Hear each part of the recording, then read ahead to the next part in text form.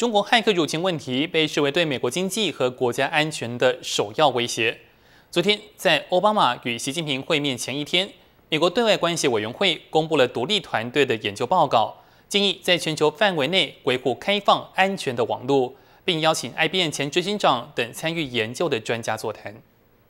主持人开门见山就提出怎么应对中国骇客的问题。曾担任副国务卿和驻联合国大使的内格罗·彭特与 IBM 前执行长彭明胜领军做出的这份报告，建议把网络安全问题纳入自由贸易条款，因为很多国家都希望进入美国市场，在这方面美国有很多筹码。In the case of hacking and particularly of theft of intellectual property, we believe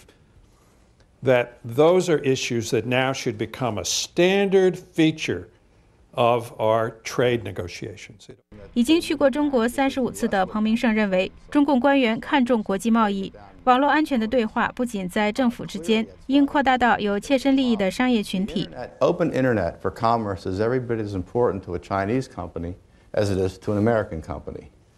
Because as they expand beyond their domestic economies, they need the reliance upon this open internet. 这份报告提出，骇客攻击最大的威胁不是单一突袭以瘫痪美国，而是大量密集的窃取战略情报，使美国对网络安全的信心受挫。目前造成的知识产权损失估计达一千五百亿美元。美国政府把中国作为一个主要的网络间谍源头，这份报告也证实这一点。同时建议美国政府各个部门把网络安全制度化，跨部门合作。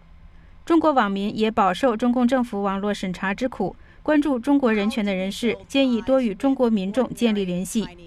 对外关系委员会中国问题高级研究员亚当·西格尔表示：“For the Council in particular, especially sensitive that we're looking at um, a whole range of civil society groups that would normally fall out of our uh, focus for these foreign policy issues。”这份报告可以在对外关系委员会的网站上获取。新唐人记者蓝青纽约报道。